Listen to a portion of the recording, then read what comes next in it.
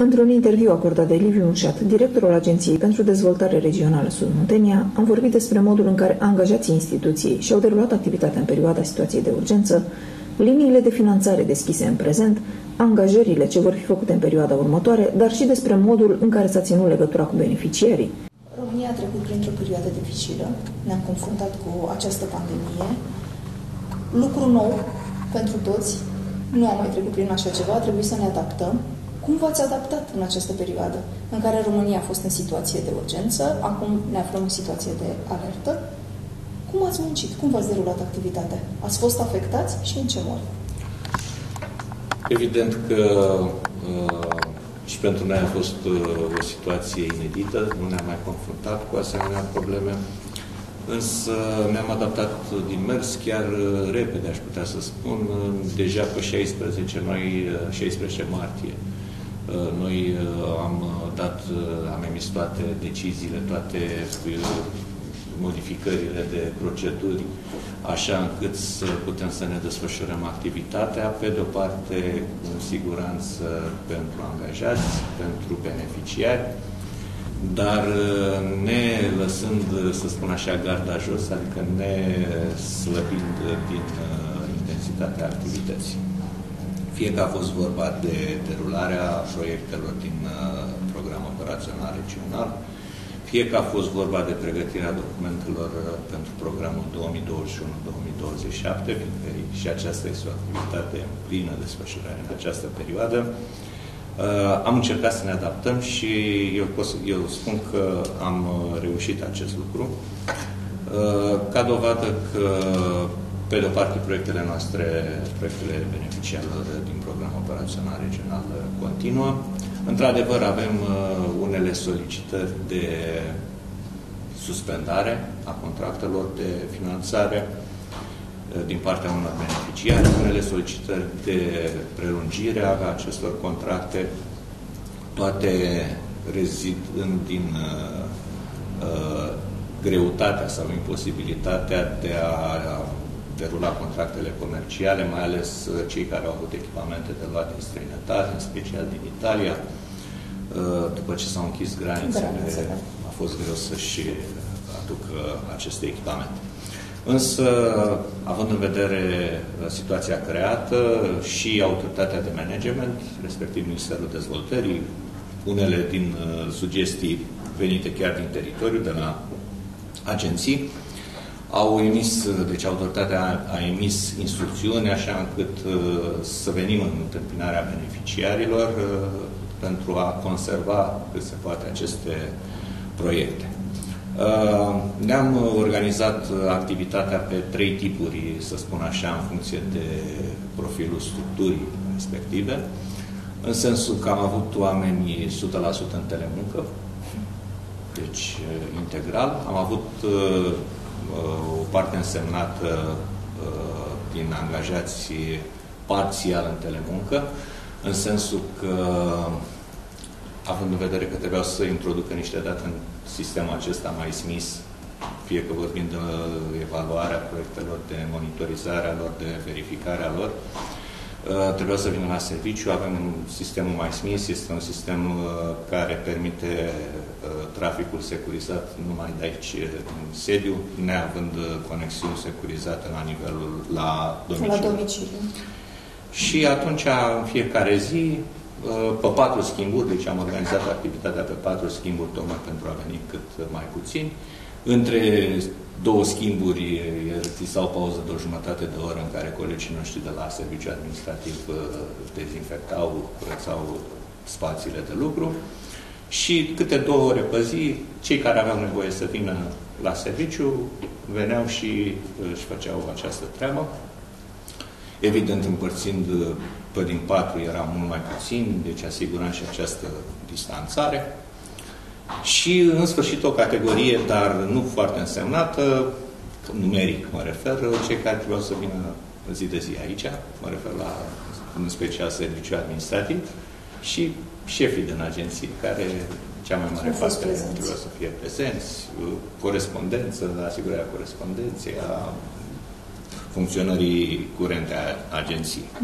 Asta din punct de vedere al angajaților uh, dumneavoastră, dar beneficiarii au depus documentele doar online, da, adică s-a da, redus da, uh, da, contactul cu exteriorul? Într-adevăr, în această perioadă, singura formă de comunicare a fost uh, numai online, prin aplicațiile noastre.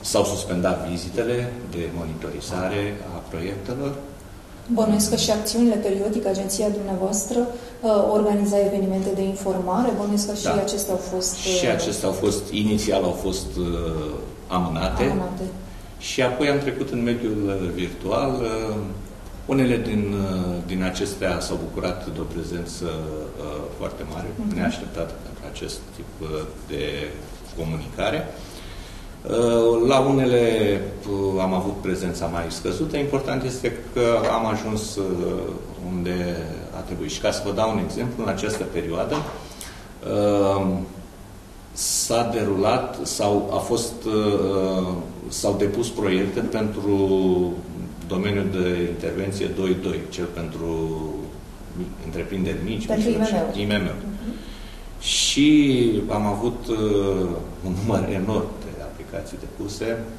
respectiv 556 de aplicații.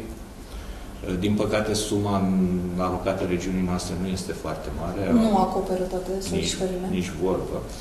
Avem undeva la aproape 39 de milioane de euro și având în vedere că valoarea medie a unui proiect este undeva la 7-800 de mii de euro, ne așteptăm să putem contracta maxim 50 din aceste aplicații, din cele 500. Asta deci, înseamnă undeva mai puțin, sub 10 mai puțin de o zecime. Însă noi uh, tragem nădejdea că se vor găsi uh, surse pentru a suplimenta această alocare și să finanțăm cât mai mult. Este una din provocările noastre. În perioada următoare va trebui să evaluăm aceste proiecte în două, să spun așa, părți mari, partea de conformitate și eligibilitate care se realizează exclusiv cu, de către angajații agenției și toate aplicațiile care depășesc această primă sită, ă, intrând în etapa de evaluare tehnico-financiară. S-a finalizat perioada de depunere, acum da. va începe evaluarea. A început, noi am început de cum se depuneau, deci de luna mm-hmm. trecută. Avem câteva zeci care au ieșit din conformitate au intrat în uh, evaluare tehnico-financiară, însă aici avem uh, o problemă, fiindcă uh, beneficiar, nu aplicantul, că nu e încă beneficiar, are dreptul la 5 zile de răspuns în eventualitatea în care primește o solicitare de clarificări. Asta înseamnă că mai devreme de 6 zile nu putem să normăm o evaluare da, a unui da, da. proiect. Asta înseamnă, ne-am făcut noi un calcul, cam 100 pe lună putem evalua și asta înseamnă că 5 luni va fi activitate continuă pe partea de, de evaluare. De evaluare a proiectului. În orice caz, noi ne bucurăm că a existat acest uh, dorință, dorință de a accesa proiectele. o solicitare, mm-hmm. aș putea să transfer. Ea vine poate și din faptul că o parte din uh, agenții economici au avut de suferit în perioada Foarte aceasta și poate ca o, eu știu, o reparație sau o, o măsură care să, să-i ajute să treacă peste acest lucru. În orice caz, mai avem o, în perioada următoare, o să mai fie o etapă de depunere de proiecte, de data aceasta proiecte mai mari, între 2 și 6 milioane de euro, tot pentru mediul privat, Bineînțeles că aici ne așteptăm ca întreprinderile mari să vină, întreprinderi mijlocii și întreprinderile mari să, să vină, deci peste 49 de angajați, uh, să vină uh, să depună proiecte și sperăm că ia, această, acest apel de proiecte încă nu este deschis. Nu s-a deschis. Chiar avem săptămâna viitoare o întâlnire cu firmele de consultanță și cu autoritatea de management la București pentru uh, ultimile clarificări înainte de lansarea ghidului și sperăm noi ca oricum, dacă nu până la sfârșitul primului semestru, imediat în luna iulie acest apel să fie deschis și practic vom avea încă un front de lucru și pe, pe acest domeniu. Dacă v-ați obișnuit atât de bine în sistemul telemuncă, veți menține aceste uh, prevederi până la dispariția riscului? Evident, de evident. Deci veți continua cu da, da, da. Deci vom continua tot, toate activitățile care uh, se uh, pretează acestui tip de activitate uh, vor continua în același, uh, în același fel. Uh, este posibil ca, dacă vom ieși din starea de alertă, să se dea drumul din nou la vizite, să facem vizite la proiecte și atunci colegii noștri de aici se vor deplasa în teritoriu. Da, deci aici s-ar putea să uh, renunțăm la activitatea de telemuncă, însă tot ceea ce se pretează activității de telemuncă va continua în acest sens. Uh, așa cum v-am spus, suntem în perioada în care lucrăm la plan, programul operațional regional 2021-2027. Poate este o noutate, chiar ieri a fost votat în Parlament uh, uh, o lege prin care, printre altele, s-au stabilit, s-au desemnat autoritățile de management pentru viitoarele programe operaționale. Așa cum eu am mai spus și înainte, Practic, ieri s-a concretizat, s-a statuat sau s-a legiferat faptul că fiecare regiune va avea propriul ei program. Deci nu va mai fi un singur program la nivelul întregii țări, fiecare regiune va avea propriul program, iar agențiile pentru dezvoltare regională vor fi autorități de management pentru aceste programe. Întreaga responsabilitate vis-a-vis -vis de derularea programului revenind agenții. Deci este o responsabilitate enormă. Lucrăm deja de câteva luni, deci practic din februarie-martie lucrăm la scrierea uh, programului operațional regional. Există o variantă 0, draftul 0, așa este intrat el în nomenclator, uh, care este pe pagina de uh, internet a agenției. Suntem în etapa de obținere a vizului de mediu pentru acest program. Evident că el până la final, până la sfârșitul anului va mai suferi câteva iterații, câteva modificări, uh, dar oricine este interesat poate consulta uh, acest program. Normal că programele, chiar dacă ele vor fi pentru fiecare regiune în parte, au, uh, să spun așa, un conținut comun. comun și sunt uh, mici uh, diferențieri în funcție de specificul regiunii, în funcție de solicitare, de tipul de proiecte care sunt visate în uh, regiuni. Dar, practic, toate vor avea un același schelet, eventual cu sume mai mari, pentru, mai mari sau mai mici pentru diferite axe, în funcție de specificul zonei. Specificul, zonei.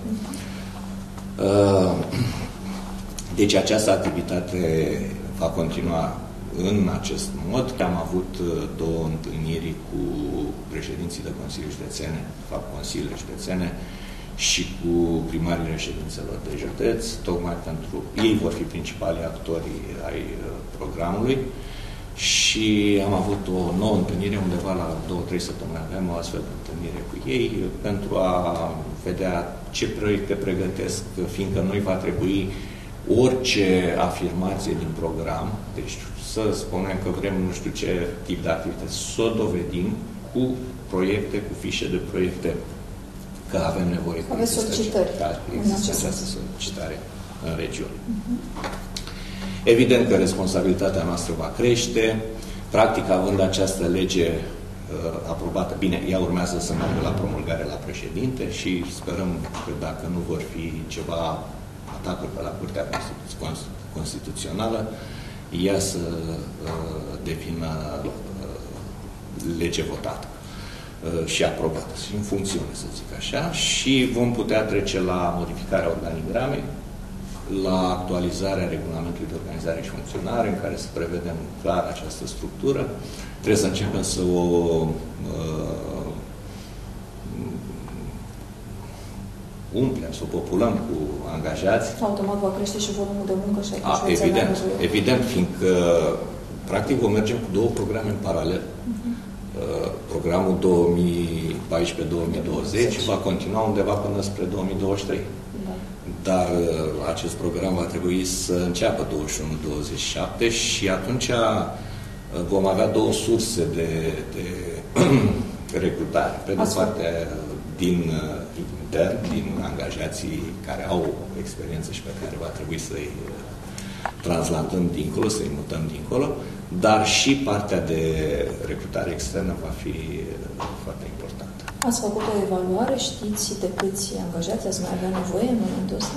Uh, deci avem așa o evaluare în momentul în care vom ajunge cu motoarele turate la maxim, fiindcă acum uh, noi uh, degeaba angajăm oameni care vor verifica proiectele dacă ele încă nu sunt depuse. Da. Deci va fi o creștere graduală a numărului de angajați. Uh-huh. Cu siguranță că în organism, în, sunt obișnuit cu acest statut de organism intermediar, în autoritatea de management Uh, vor fi cel puțin 40-50 de angajați în uh, acea direcție. Ea va fi condusă de un uh, director adjunct. Va fi o responsabilitate mare să, să decidem care va fi, ce soluție vom avea pentru acest post, fiindcă el implică o negociere și un dialog continuu cu Comisia Europeană. Practic, acum nu mai avem o pălărie la nivel național în care toate agențiile, toate regiunile ne mișcăm da. Uh, și atunci va fi responsabilitatea individualizată și... pentru fiecare agenție. Da. Dacă în România lucrurile au fost uh, oarecum blocate în această perioadă a situației de urgență și acum o situație de alertă, am văzut totuși că lucrările la nou sediu au evoluat. Da, și așa este. sunt în plină derulare. Așa încet, este. încet, noua clădire începe să prindă contur. Da, practic ea vine ca o, cum să spun eu, ca o rezolvare a unei probleme pe care ne-a fi apărut. Doar vă spuneam că vom avea undeva la capacitate maximă încă 50-60 de angajați. Uh, evident că o parte vor veni din actualii angajați, dar cu siguranță vom avea nevoie de suplimentarea efectivului. Iar uh, sediul uh, pe care l-am început anul trecut, uh, să știți că evoluează. Avem ca termen țintă undeva sfârșitul anului, începutul anului viitor. Au fost, într-adevăr, și la ei câteva perioade în care au redus activitatea, tot așa cu ideea acesta de a proteja angajații. Da? Și atunci am mutat puțin din noiembrie undeva spre sfârșitul anului, începutul anului viitor uh, finalizare. În momentul de față suntem undeva la vreo 15-18% din uh, contract. Mă refer atât la partea de fizică, de realizări, cât și la partea de plăți financiară. Am plătit undeva la vreo, până acum, din, deci avem uh, valoarea totală a contractului este de 7 milioane și jumătate de uh, lei și până acum am plătit vreo 965 de mii de lei fără TVA și 1,1 milioane cu TVA. Deci asta înseamnă cam 15%. Uh, deja acum vom turna placa peste placa peste etajul 1 și mai avem etajul 2 și acum trecem la partea de... Ei lucrează în paralel la structura de rezidență, dar și la finisări în interior, la subsol. Fiindcă subsolul va, ne va rezolva o mare problemă. Practic, problema de la care am început demersurile concesării este vorba de partea de arhivă. Uh, noi, după cum știți, procedurile noastre sunt destul de stricte, sunt mulți ani în care noi trebuie să păstrăm arhivate documentele fizice, chiar dacă în momentul de față ele se depun și în sistem electronic, noi avem această datorie și de aici a apărut uh, nevoia acum mulți ani a seriului. Apoi a apărut uh, această eventualitate concretizată astăzi printr-o lege uh, de a deveni autoritate, autoritate. de management. Și, practic, acest sediu își uh, merită cu prisosință rol. Fac această remarcă, fiindcă au apărut în spațiu public unele păreri cum că este un moft uh, al nostru și că nu este vorba de niciun moft, ne mutăm într-o clădire în alta, nu este adevărat, deci chiar avem nevoie, datorită creșterii uh, responsabilității și atribuțiilor noastre, avem nevoie de, de acest sediu și practic el sperăm că la primul trimestru al anului viitor să-l inaugurăm. Va fi un sediu în oglindă? Structura este relativ asemănătoare. asemănătoare. Nu va mai avea aceste cortine de sticlă în unghiuri, va fi mai dreaptă, dar tot așa fața cu... Avem chiar și o machetă aici pe hol. Fața va fi tot oglindă, cu spații mari, la, deci tot sub, la jumătate din subsol, ban, trei sferturi din subsol este destinat arhivei, mai avem doar puțin o cameră tehnică pentru centrală, pentru gospodăria de apă și toate cele. Și două etaje, unul cu siguranță din etaje, poate chiar mai mult, va fi uh, alocat uh, autorității de management Sperăm noi că acestea să fie argumente importante pentru cei pe care vom dori să îi recrutăm în perioada următoare. Nu vă ascund, așa cum am făcut de fiecare dată, ținta principală a noastră o reprezintă tinerii. Uh, dacă au și oarece uh, experiență, experiență e binevenită, dacă nu, uh, eu sunt convins că toți colegii mei care sunt deja în agenție vor fi un izvor de informare, de inspirație, de modelare acestora, dar vom conta în continuare pe tineri și sperăm ca o parte dintre cei care nici nu se mai gândesc să întoarcă călărași după ce își termină studiile. Și să știți că sunt mulți copii buni, inclusiv din călărași, care nu mai vin înapoi, încă nu au motivație. motivație. Deci ne vom îndrepta către aceștia în perioada următoare. Singura problemă este că nu o să aibă foarte mult timp de acomodare, deci vor intra cu motoare turate, dar eu cred că activitatea pe care noi o desfășurăm este absolut tentantă pentru început de carieră, pentru tânăr, având foarte multe lucruri de învățat într-un domeniu care poate oricând să, să își găsească utilitatea, să fii un specialist în achiziții publice, să faci un uh, uh, management de proiect, să faci un plan de afaceri, să știi să te uiți, că în asta...